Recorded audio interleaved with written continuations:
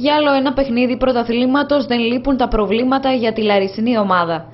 Η ΑΕΛ ταξιδεύει στην Κατερίνη με πολλές απουσίες, με τον Μιχάλη Γιώγα να παίρνει στην αποστολή σχεδόν όλους τους υπόλοιπους διαθέσιμους ποδοσφαιριστές.